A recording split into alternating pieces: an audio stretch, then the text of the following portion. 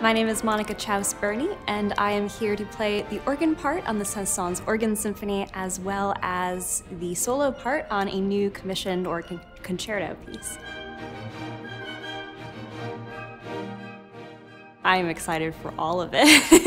it's been so fun to be part of the team on the Saint-Saëns and also to be playing such an interesting new commission. Um, you can hear the icebergs cracking and the waves just kind of rippling, and it's just all so exciting. I hope to visit the yarn store that got me started knitting. It's Loop, um, right on South Street. So I will be paying them a visit on Friday. A turning point for me actually was playing this organ in high school. I did a summer program at the Kimmel Center a couple years in a row, and we had daily lessons with the faculty at Curtis.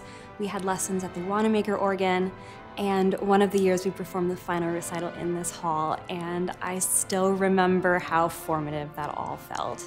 Um, there are so many feelings for me being back in Philadelphia. It's really special.